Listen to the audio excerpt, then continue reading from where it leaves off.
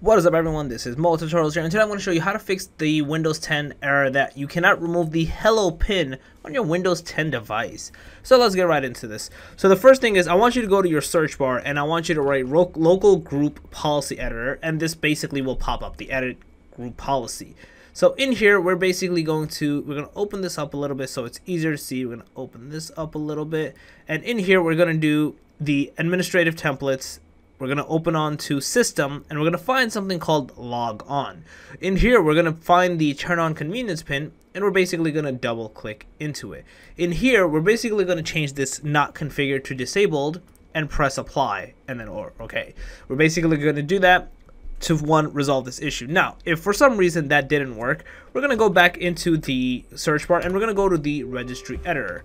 We're to say yes and we're to basically open it up. So I'm going to actually type in the command or the, the location where we need to go to essentially do this. It's essentially local machine, HKey local machine software, Microsoft policy manager, default settings, and allow sign in option.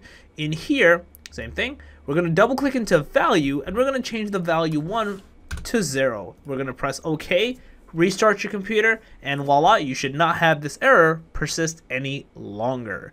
So yeah, that's basically it. Uh, it should be a very quick fix. Hopefully this helps for you guys. Uh, if not, let me know in the comment section below. More than happy to help you guys out. If you guys overall like this video, please smash that like button. If you guys are new to the channel, make sure to subscribe and click that notification bell. Than that, Moe Tutorials out. Peace.